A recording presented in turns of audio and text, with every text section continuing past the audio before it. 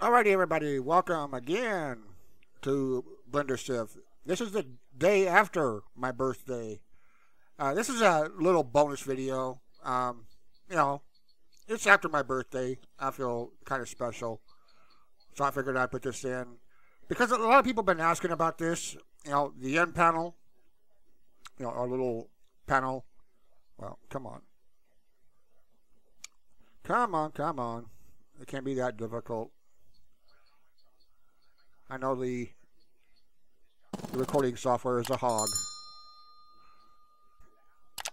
You guys know, as you've seen before, that I have a bunch of add-ons. I got a lot of add-ons. um, and my N-panel gets kind of big. But you see, it's not really big right now. I got I got item, tool, and view. And that's because my N-panel is organized. And um, this is the last version of Blender. This is version 3.0.0 uh, that I have to uh, set this uh, this add-on up that I'm going to show you because this is what I use to organize my N-panel. It's called Clean Panel from Amandeep. And um, he's also the guy that makes Rand tools, which um, I, uh, have I introduced that? I don't know. I think I did introduce it. Was that yesterday's? I don't know. I don't know if uh, it was my birthday yesterday, so I don't know. I can't remember back, but I might have introduced that yesterday, but we'll see. Anyway, um, if I haven't covered it, I will cover it. so, oh yeah, I think I did. I went over it. I didn't cover it, but I went over it real quick um, because a lot of you people were wanting something in between Fluent and Hardops.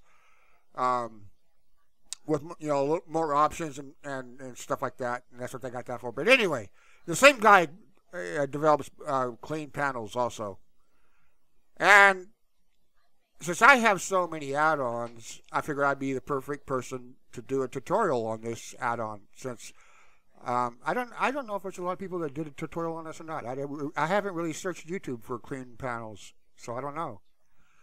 Um, but anyway, let's get into it dive into it, however you want to say it.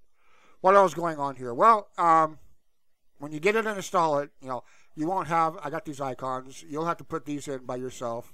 And you can see there's a drop down here. Um, when I finish, you know, when all of my add-ons get put in, this will be uh, much bigger. Right now I just got hard surface. Now I can access that also from this pop-up right here from this one here. See, there's hard surface right there, and it's the same. As, it's the same as up here, hard surface. Um, but that's you know these are category category categories. You know you can have hard surface, animation, subsurf, you know like that, and all of the add-ons that you have for those things. You know like I have Auto Rig Pro, so Auto Rig Pro would go into a rigging category up here or animation category. Either one would be fine.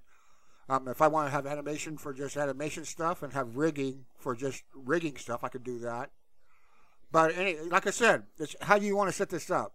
You know, you, are the one that has to set this up when you buy it because it comes not set up at all, and you got to put your, you got to find what icons that you want for your tool up here. So you can see right there, that's my unwrapping UV unwrap. So if I click, if I click that right here, you see how this changed over here and added Zen UV? Um, then when you click it off, then this over here goes away.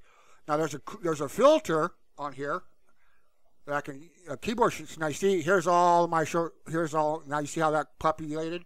Now watch my N-panel. I'll hit the filter again, and you see how that all goes away. And this is where the, this is where I was. That's a keyboard shortcut that you can use to turn your. See here's my Rand tools right here. But, um, and all this does, you know, if you have the filter on, uh, you know, let's say you want, this is going to be for Hardops, but let's say I want the uh, N-panel menu for Rand tools or Hardops, you know, whatever you want. Um, that's when you can go into this menu, the clean panels menu right here, and hit hard surface like that, and you see I got cutting material, and then over here I got hard ops. I can click the hard ops, And you see, this is the N-panel that would have come up in hard ops. Over here, if I had hard ops and I clicked on it, that, that, this is what, this is, I'm going a little bit too quick for recording, but this is what shows up over there. And also up here, when, you know, when you install hard ops, you get the same menu up, up here in this, in this area too. But that's what the, that's what this menu here does. And the other menu this one here turns them on. See, if you look over my N-panel, look over here in my N-panel, when I hit, let's say chip, this right here is Chip Walters. So if I click chip, see, these are all of Chip Walters add-ons. Here's Sci-Fi Flux, KitOps, Design Magic, Bevel, like that. Then I can go back, pull this back up, click that, and it, go, it goes away back to where it was like that. And that's how all this works. See, these are your clean panels with your pie menu that turns everything. See, here's lighting. If I click lighting right here,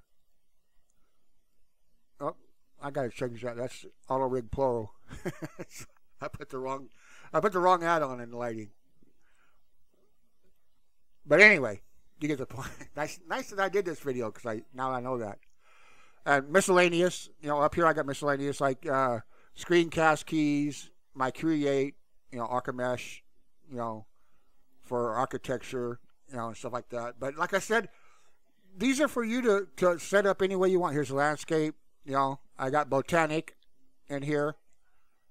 And these are for you to set up, you know, however way you want. You know, over here is UV unwrap, like I showed you a while ago. Um, we got material, and you know I got fluent in here, and you know I still got to get more in here. I can put hard ops in here because hard ops has got material.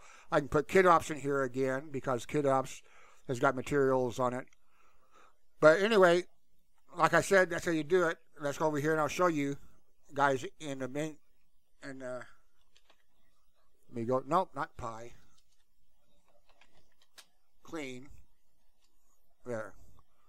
Here's the clean panels when you install it. Here's your short. I changed the shortcut keys because the shortcut keys that were came with it by default were were you know interrupting with Blender's default keys that I use. One of them was F, which F is the uh, shortcut key for Fluent uh, menu. So I changed it. Since I'm on a Mac, you know, you know, I just got the Alt left bracket, Alt right bracket, and the Alt uh, star or anything. What I guess I guess the quotation mark, the double quotation mark. Yeah, the double quotation mark, and that's for the panel, the panel's pie menu. So the quotation mark is the one with the hard ops in it. Oh, it still has it over here. Let me click over here in the 3D view. Then I can put, see, this is the clean panels, which is your top one. Then your toggle filters, this turns your filters on and off. See right here, the filter is on because I've only got my stock ones. So if I hit my Alt and right bracket, well, there, Alt and that right back. See, it turns it turns the add-on off basically, and all of my add-ons come all of my add-ons come back in the N-panel. And then if I want to turn it back on, you know, I can shorten it, or even even if I'm in here you know, I don't got to turn the filter off. I can pull up my clean panel. Oh, no, not that one. I can pull up my the pie menu here, and you see how it disappears? When I pulled up the pie, the pie menu for the clean panels, all my add-ons uh, left, and it's waiting for me to choose what I want. And I choose hard ops. Right there's box cutter and fluent. And that's my hard surface modeling. It was waiting for me to choose, and I can turn it off. Then it goes back to that, and I can turn the filter off and get all of them back if I want to. So you know, you can. I mean, you can go back and forth right here. You know, however way you, however you know when you're doing as you're working, and you know, as you can see, I'm pretty used to it now. You know, so I can turn it like you know, turn it off like that and everything. And the more you like with any tool, the more you work with it, the quicker you get, the more you get used to it. And down here, here's your pie panels, your drop down right here.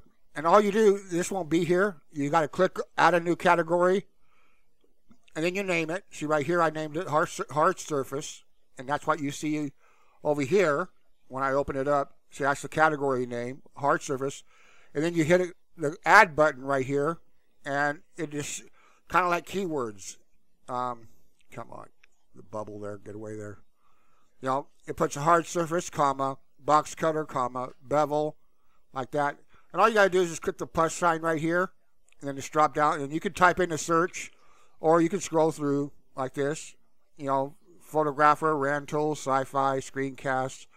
You know, everything is in here. Well, what's not in here has already been put, and all my all my panels here, right here.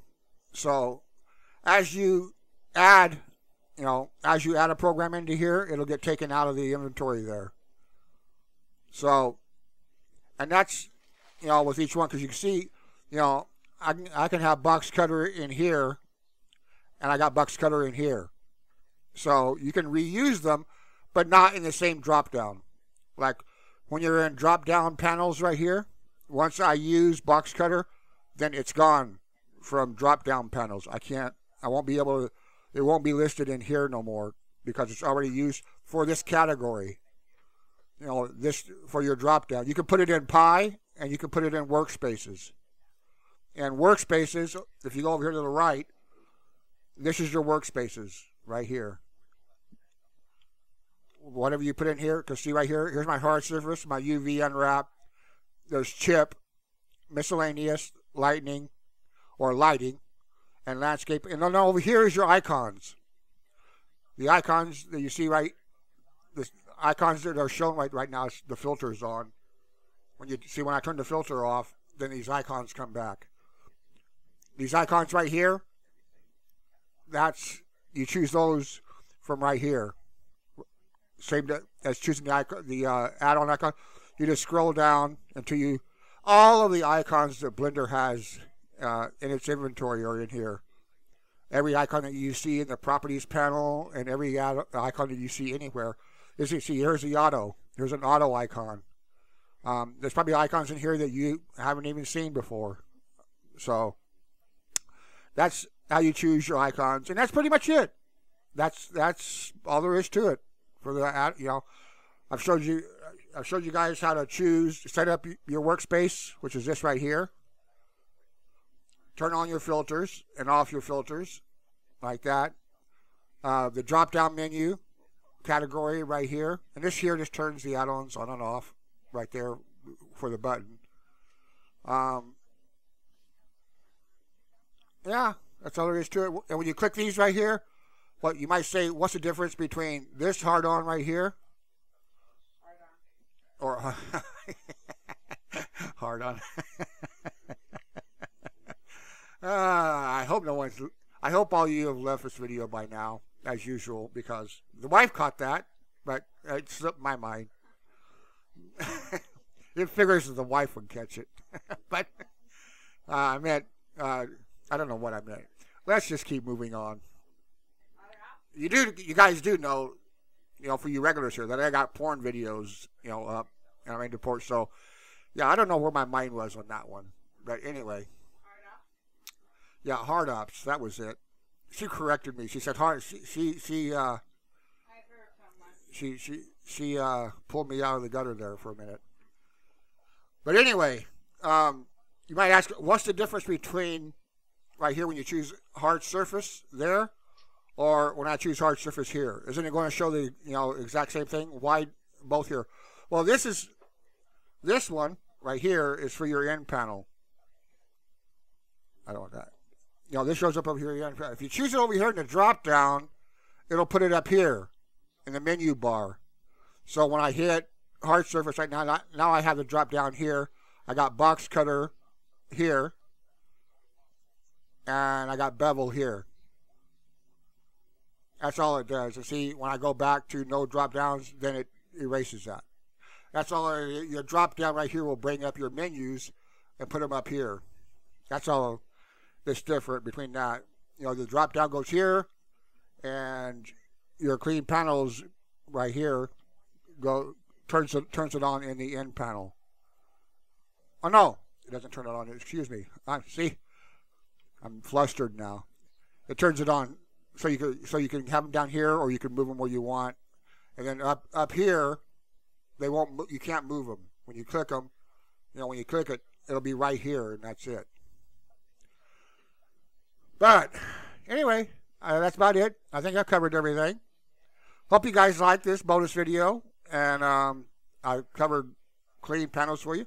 So if you're looking for, you know, if you're one of them uh, people out there from the Discord or, or wherever that have been uh, moaning and bitching about the N-panel and cleaning it up and stuff, and the Blender developers aren't devoting any time to the N-panel, well, this video is for you then. Uh, you can find the link to uh, Clean Panels in the description below, along, as usual, along with the links, affiliate links to all of the other add-ons that I use and will be covering uh, eventually in the uh, tutorials here on Blender Sith. So with that, until next time, we'll catch you guys later.